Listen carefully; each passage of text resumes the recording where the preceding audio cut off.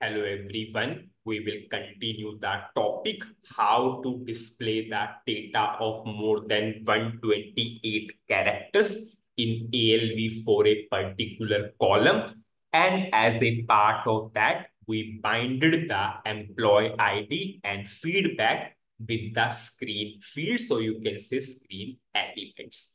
Now, these buttons are not working. So it is totally your wish. You can simply write the directly write the logic in the PAI or one option, you can create your own GUI status and then you can write the logic in PAI. Suppose I will create my own GUI status and then on that button, I will write the logic in the PAI. Suppose if I will go for this particular program. This is our program. Now, where we will write the logic to create our own GUI status. Suppose if I will simply run this program. I will give the input. Whenever I will click onto this hyperlink or hotspot, screen will come.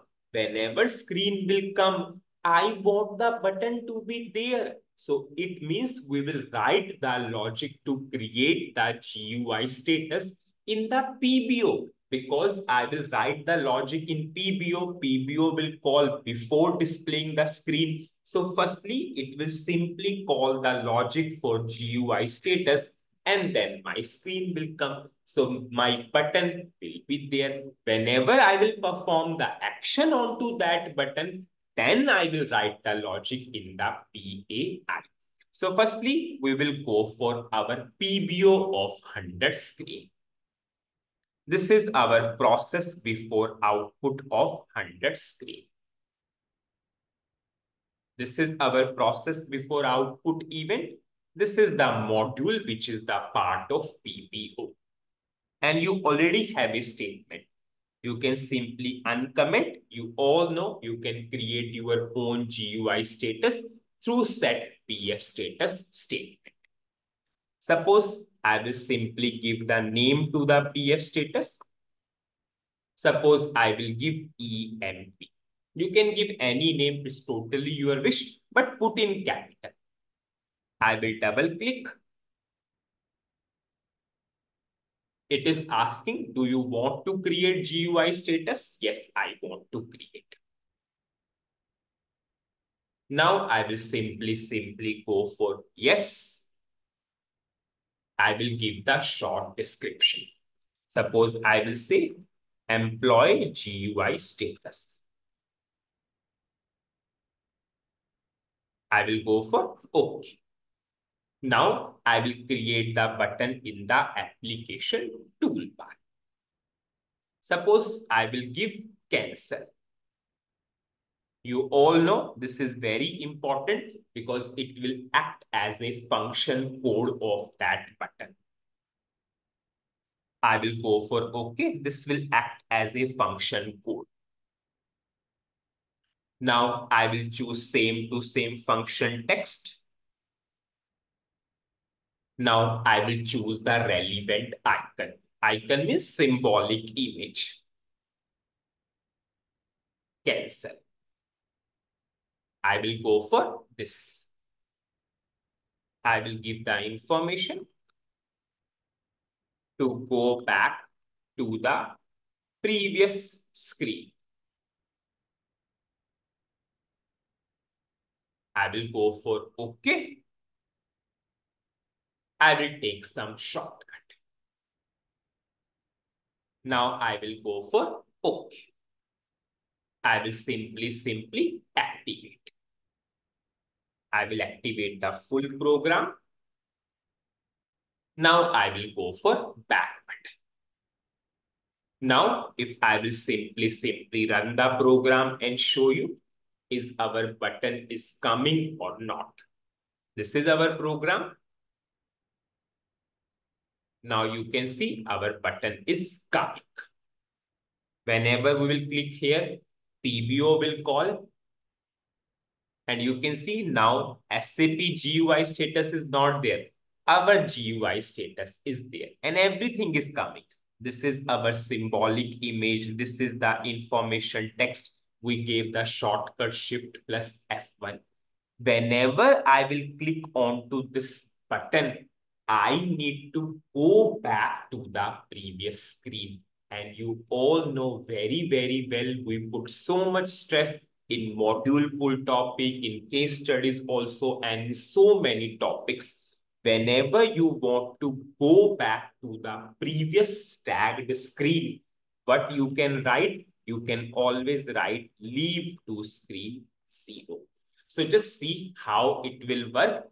Whenever we will click on to this particular button, which event will call PAI. So in PAI, I will write the logic leave to screen zero. So leave to screen zero will take me back to the previous stack screen, stack screen. Suppose if I will simply run the program and explain, suppose I'm going for simply running of the program. I'm giving the input. This is the screen. This is the input screen. This is the output screen. Now from this we are calling the screen 100. Now, if from the 100 screen, I want to come back, so I will simply, simply write leave to screen 0 because leave to screen 0 will take me back to the previous stacked screen. Now, I will simply write the logic in PAI. I will anyways, whenever I will show you in that debugging mode, you will get 100% clarity how stack is there. Now I will double click onto the screen. And now I will write the logic in PAI. So firstly, I will uncomment this PAI module. I will double click and create. Yes, I want to create. I will go for new include. Now here, you can write the logic based upon SY-UCOMM. It's totally your wish. But anyways, we have a single button. If you have multiple buttons, then definitely you need to write the logic based upon system variable user command, which captures the function code. But at this point of time, we have single, single button. So we can directly write also leave to screen zero.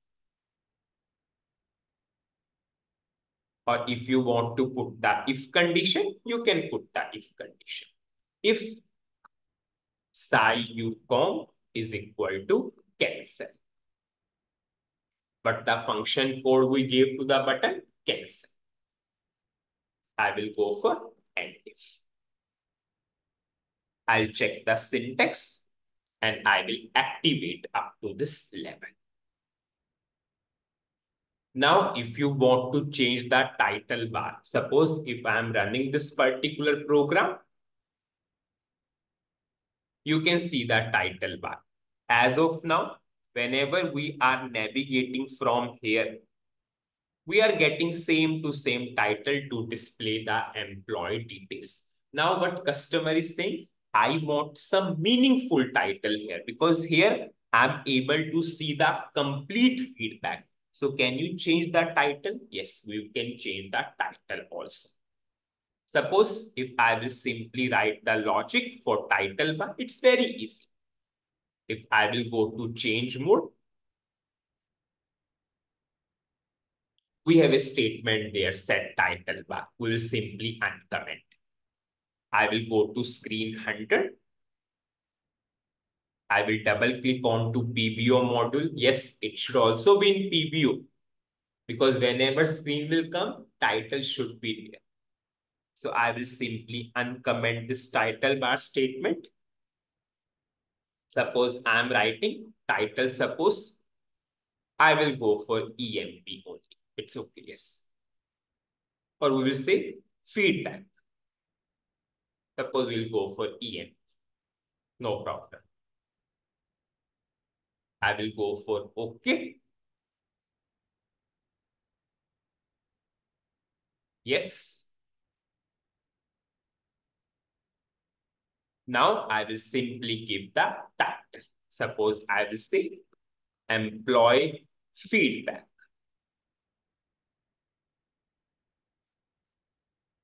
I will go for OK. Now I will activate. Now I will show you.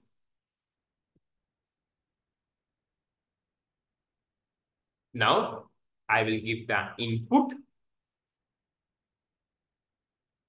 I will click on to this hyperlink. And you can see this also changed and we are able to go back also.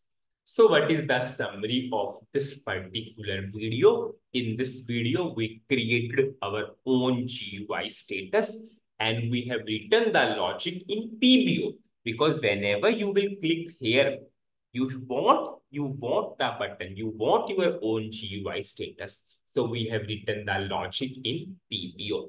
After that, we have written the logic to create the GUI status in PBO. But whenever you will click on to this button, you know PAI will call. Now, whenever we will click on to the button PAI called, we need to go back to the previous screen. So how we can go back to the previous stacked screen? We have a statement leave to screen zero. So I uncommented the PAI module. I have written the statement leave screen zero. Now after that, I simply, simply created the title bar also. Now in the next video, we will disable these buttons because you will say, I do not want these button. Now, as of now, if you can see, we can write here also. Anyways, we cannot say, but customer will be confused why I'm able to write here. So we will make this also in read-only mode. And then we will go for debugging to understand the full output. And we will check also why employee ID is not coming. And with that debugging only, we will find the root cause. So that's it in this video. Thank you.